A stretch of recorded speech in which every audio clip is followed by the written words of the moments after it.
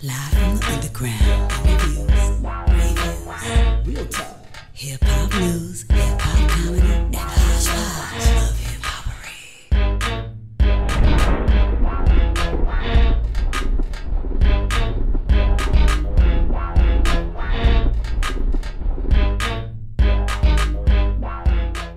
Hey yo, what's up, y'all? This is DJ Spooky, that Subliminal Kid, giving y'all a wild style shout out. You're rolling with a podcast that's licensed under the Creative Commons license, so I just want to say check it.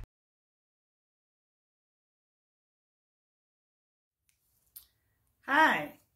Thank you for watching Word from Wize, Bus Stories, Flowers in the Street. This is episode 10. I call this one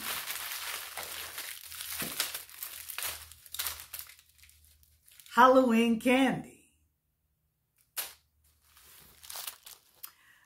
So I'm doing line four, line four again. On one end it's the division, on the other end is the Fessenden. Of course, that route is gone now, and now it's the, the two or something.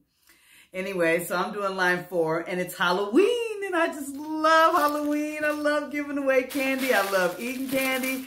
It's it's just I, I love being a bus driver. I, I I back in the day I used to see a whole lot of kids in the Ville of North Portland, and they didn't have no Halloween. They didn't have no costume. Some of them never went trick or treating in their life. You know, they didn't have no candy, and but they was on the bus, or, or they saw the bus. They got on the bus, ain't had no money, just came on the bus like, huh, you know. and so I always have candy for the kids that in the Ville. They would be at the bus stop looking all sad and look being pitiful on Halloween. So it, it's my responsibility to drive safe and maintain the schedule, you know. And uh, it's just a, a little community service thing. I love I love people. And I was a I was a child once and I love Halloween. And I never stopped loving Halloween. I never grew up. okay? So this Halloween in particular, I was deadheading, which means I was not in service. I wasn't picking up any customers, no passengers, just going from the garage. I was deadheading from the the garage to the starting point, which was going to be the Gresham Transit Center, all the way out to North Portland to St. John's, and then back to Gresham, and then I was going to be done, I think. Or I might have did another a half a trip or turned to another route or something. I don't remember now, but I do remember I was going to be doing that on Halloween. And as I talk, th- th- th- I'm gonna. There's to be a picture that's to come up. That's a picture of me in uniform on Halloween day of this story that I'm talking about. So stay tuned for that picture that's to pop up in a minute, y'all. Okay. So anyway, I decided in my deadhead that I was to buy some candy. Now I know I should be doing that on my own time, but it, I had like a 45 minute window of time. And I and I, the, the grocery store, I go right by the grocery store on the way to the transit center, center where I start, right? So I said, I'm going to park the bus and I'm going to go in there and I'm going to buy enough candies to really bless these babies, you know, on the route from Gresham to North Portland and back. And that's a lot of candy. And, and so there's a grocery store called, well, it was back in the day called Save a Lot on Division in 100 and about 174th in Division. Now it's a, uh Mexican supermercados, and there's a Dutch Brothers with a Dutch Brothers coffee drive-through thing in it. Okay, and uh yeah, so times have changed, and uh I stopped there to get some candy for the kids. Stop playing with the candy and tell the story. So I stopped there to get candy for the kids. Didn't think nothing of it. I got like five or six, you know, grocery bags filled with candy. And I had the four-way flashes on, and I'm parked right in front of the grocery store. It's a little, it's not even a parking lane. It's like a little shoulder road. But it had like a metal grate, like a, like a, a drain. And, and I, and, and I, I saw it. And I had, and I had parked there before. And I know when you pull out, the bus goes, dips down you know, the back the back wheel dips down into that drain. So I said, Angie, when you pull out, pull out and around. Try to try to try to go around as much as you can to get around that drain. That's you know. So so when I parked there, I had thought about that drain. So anyway, I got in the bus and I put all my candy in the in in front of the driver's seat on the floor. I had like four or five bags of candy. I was all excited. I was all happy, y'all. And I didn't have no costume on it. And, and back in the day at TriMet, they would let you wear Halloween costumes, but we had a few bus drivers go too far. You know, they had on uh black stiletto. Uh, I mean, she you know, she didn't on the black stiletto. She had on these black uh, leather boots, and she had on these uh, fishnet stockings and she said she wished she could wear stilettos, but we're not allowed to wear heels. So she had to wear the boots. And so she had on these fishnet stockings and they came up to here and she had on a little little mini skirt. And he's like, no. And she just was showing too much. She, she had too much thigh and hip and ass to be wearing that oop behind the behind the wheel. So she messed it up for the next for, for Halloween. They said no costumes you could wear a mask or you could wear, you know, you know, and they don't care if you get out candy, but no full dress costume. So all I had was the pleasure of giving away candy because if I could have, I would have wore a costume, okay? At least be a witch or something, okay? So anyway, I get the candy in the bus and then I, I get started. I'm looking and and I and I and I and the, I leave the grocery store and I and I hit the drain. I forgot about it when I left, y'all. So I I hit the drain, and when I hit the drain, the side of the bus leaned, and and and and I, and I felt a little bump, but I didn't think anything of it, you know. And so I'm going down the road, and and I'm taking the candy out of one bag and opening it up and putting it into another at the stoplights. You know, I'm mixing the candy up and, and getting it ready. Cause, I, I plan on, I had enough candy and I, am sitting up the bags in the dash, you know, in the windshield. I had a, a big bus windshield. I can put a bag of candy here, bag of candy here, bag of candy here. I can have a couple bags on the side of me for later. You know, I'm just getting it all organized and getting throwing away the garbage that I don't need. And uh, I get to Gresham Transit Center and I got like 15 or 20 minutes. So I get up, you know, and I make sure that the bus is clean and, and I'm walking and then I seen this tall white brother. He had to be like seven foot three or something. He was real tall, okay? He was not banged on the on the bus door. He went boom, boom, boom on the glass. And I was so terrified, y'all. I was like, what, what the world?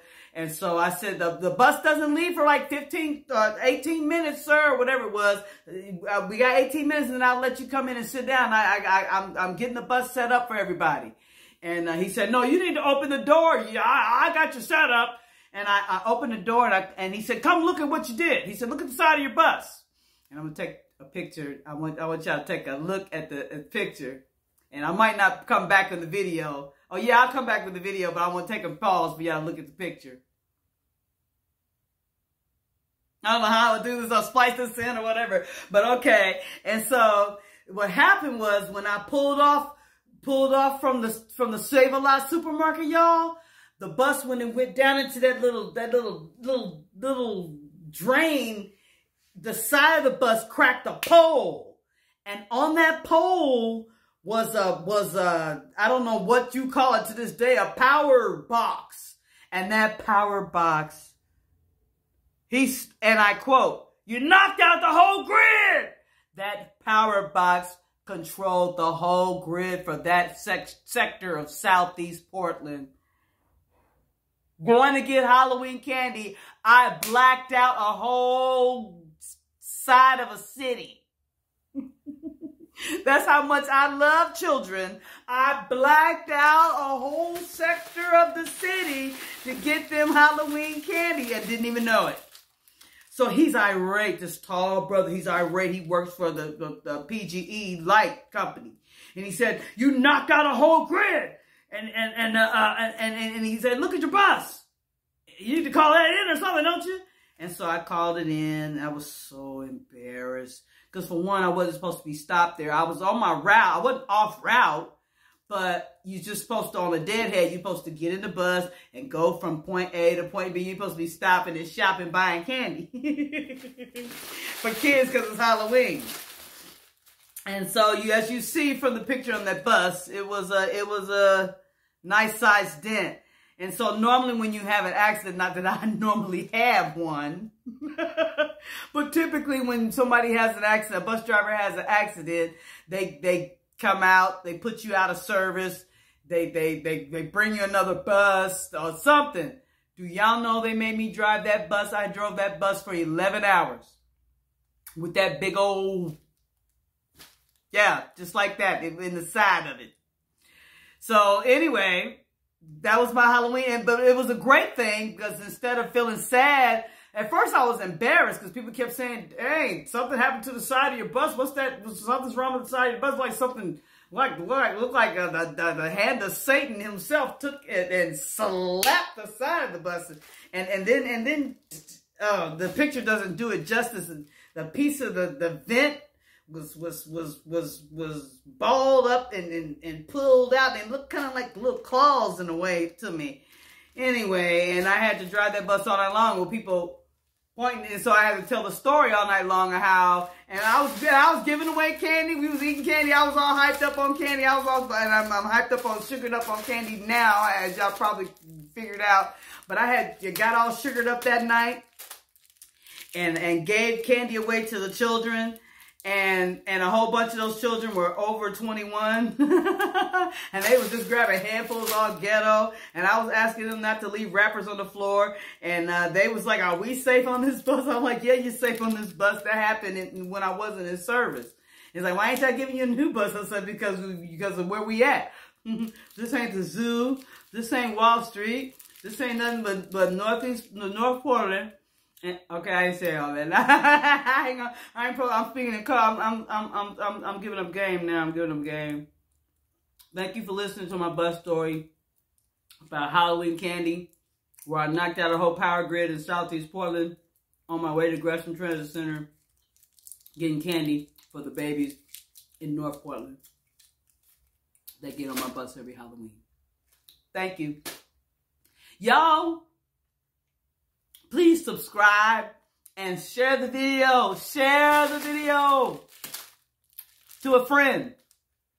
Be a friend. Share a video with a friend. I would like to get up to 100 subscribers. I'm at 87 subscribers for over a year now. I'm stuck at 87, 85, 80.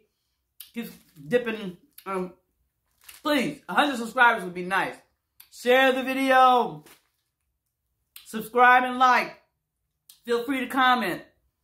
If I don't reply to your comment, it's because YouTube has some kind of error message. If I didn't give you a heart or a comment, it's a YouTube error, a YouTube error message.